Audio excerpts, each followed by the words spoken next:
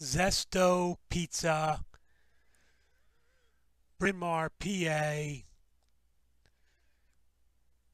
Nice little place, busy little place, clean little place, takeout only. A lot of orders came in when I was there waiting for my cheesesteak. The, uh, I mean, a good traditional cheesesteak, the um, big roll, lettuce and tomato on the bottom, pushing the meat up. Um, so it looked like there's a whole lot more meat than there actually was.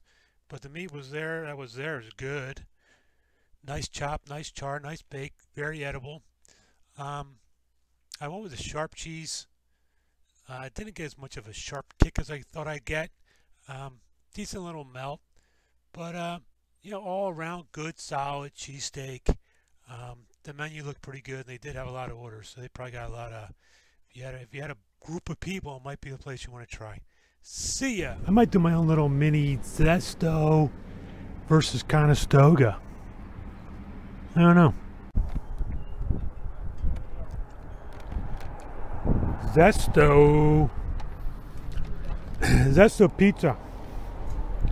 Hope you can hear me. I'm like yelling. I'm standing in the street eating my cheesesteak. Zesto's a uh, takeout only.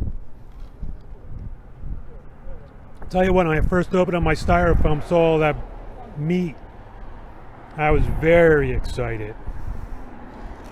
But then I see how much lettuce and tomato on the bottom, pushing it up. So it's good meat though. Got a nice fry on it, nice char. Mushrooms and onions play nicely together. Good, good big roll. Got a nice crust on it. Good standard roll. I got sharp provolone. Thought I got a little crazy Friday night after Thanksgiving. Good cheesesteak. Takeout only. Zesto.